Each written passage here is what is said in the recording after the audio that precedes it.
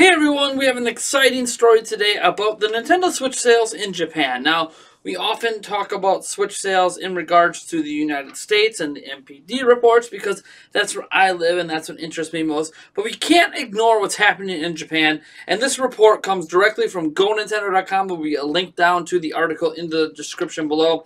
And it says, first up, Splatoon 2 has officially outsold the original Splatoon in Japan. The original Splatoon managed to sell 1,532,079 units in its lifetime.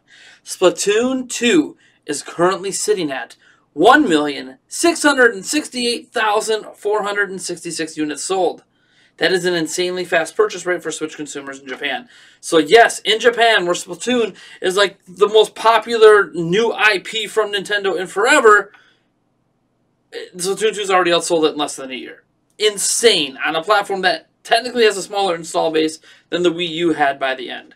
Moving on, second, we have official confirmation on the Switch surpassing the first year sales of PlayStation 2. In Japan, when looking at the same amount of time from launch until this week, Switch has managed to sell 3,258,083 units.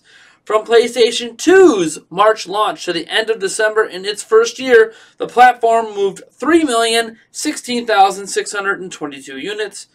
So, yeah, we obviously don't know if Switch is going to stay ahead of PlayStation 2. Well, obviously, Splatoon 2 is going to stay ahead of the original Splatoon because there is no more sales happening for that game well, pretty much no more sales happening for that game.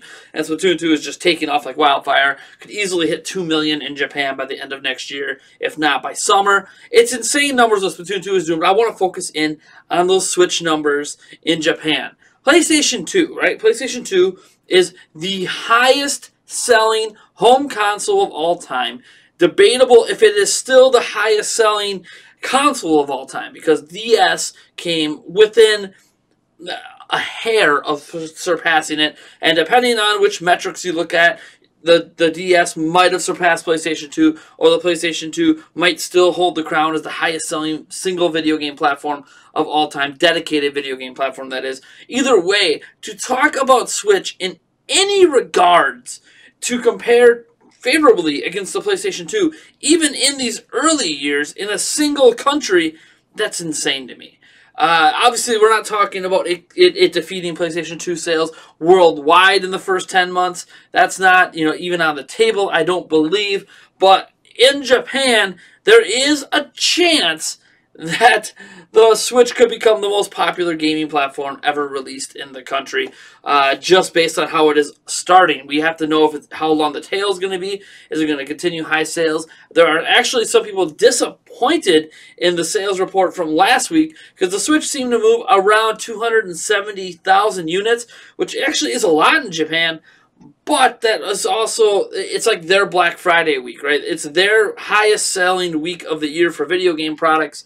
Uh, just like in the United States, we have the week of Black Friday, or that entire weekend if you want to count it together. Friday, you know, Thursday on Thanksgiving through through Cyber Monday if you want to just count all those sales together.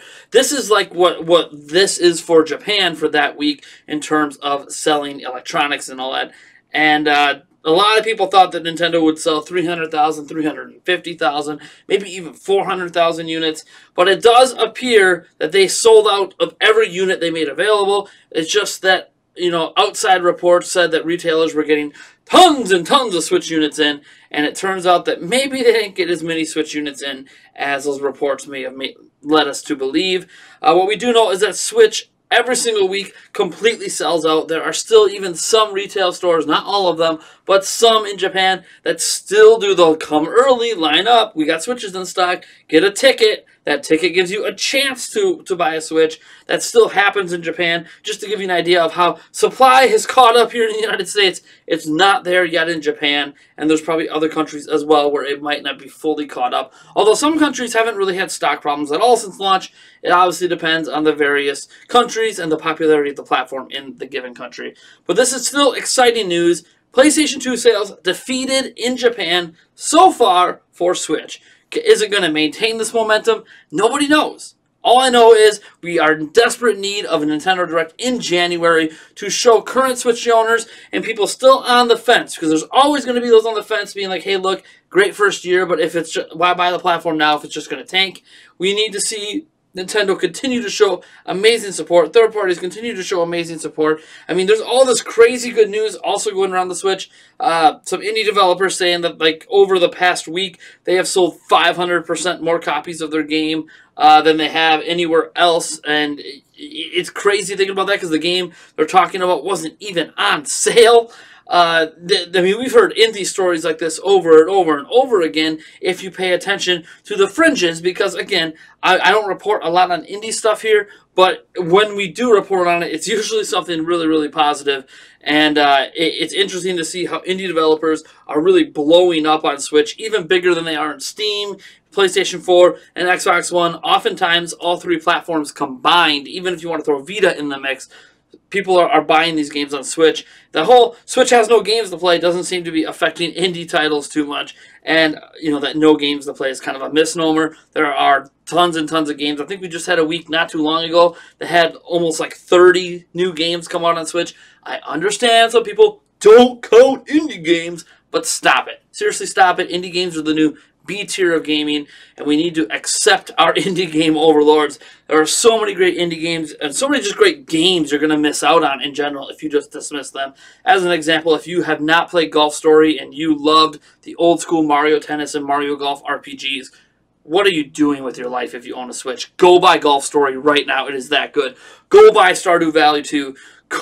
Or Stardew Valley, sorry, if you've never played Stardew Valley and you're a big Harvest Moon fan go buy SteamWorld Dig 2. That's the one I was thinking of. If you enjoy platforming games, it, it, this is just a culmination of a lot of exciting things for me to think about the popularity of this platform in year one. It is doing some unprecedented things in certain countries. Again, we're not saying unprecedented overall, but this is cool. Uh, I am interested to know if PlayStation 2 was obviously the highest selling platform in its first calendar year in Japan. I don't know if that's the case. Maybe that crown belongs to 3DS. Maybe that crown uh, belongs even to PlayStation 4 or, you know, the PlayStation 3 or something like that, or maybe even the Vita. I don't know who owns the crown for fastest selling system in the first year.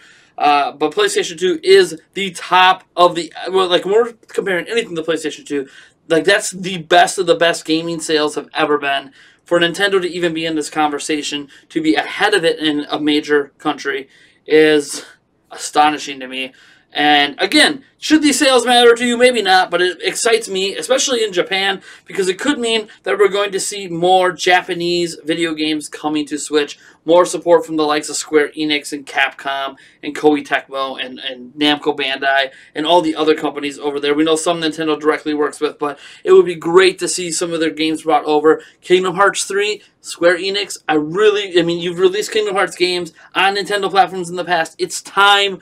Make Kingdom Hearts 3, heck, bring 1 and 2 and 2.5 and 1.5 and all the other ones. Bring a collection pack to Switch and then drop the Kingdom Hearts 3 game on us. I understand it's not going to visually compare to PlayStation 4 and PC, but nobody cares. Nobody cares. We just want to play that bad boy in our toilets well, in our toilets, on our toilets, uh, and then in our bedrooms, and then on the train and on the bus, and then just dock that bad boy at home and never have to hit pause. Just keep that bad boy going non-stop. That's what we want to do. We want to enjoy almost every video game in the world that way, at least in my opinion.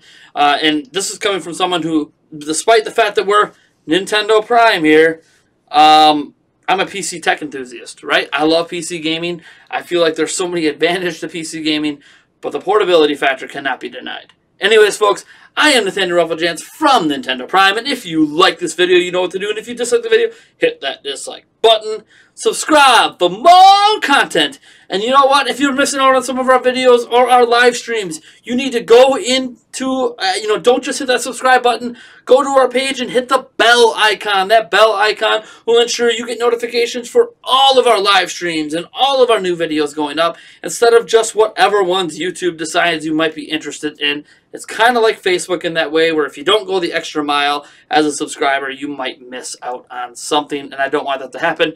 Anyways, folks, I will catch you in the next one. I'm out.